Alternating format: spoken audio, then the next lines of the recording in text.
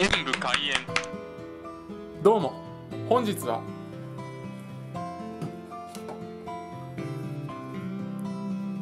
ちら。みんな大好きカルピスウォーターを飲みたいと思います。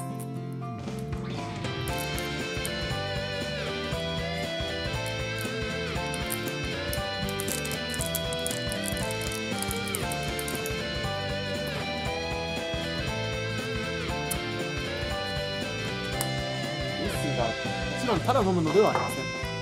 このカルピスと一緒に入っていた。こ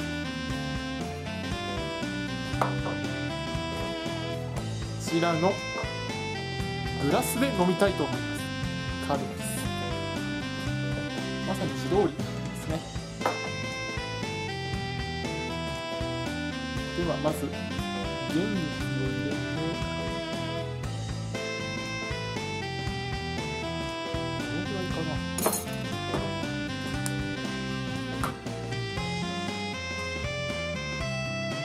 水を注ぐそ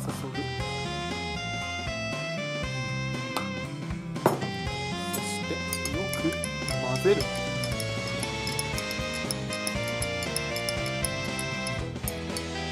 ではいただきます。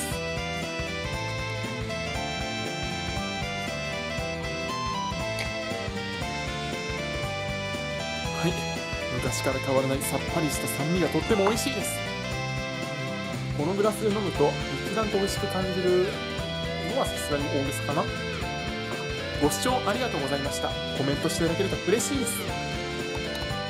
チャンネル登録をお願いします。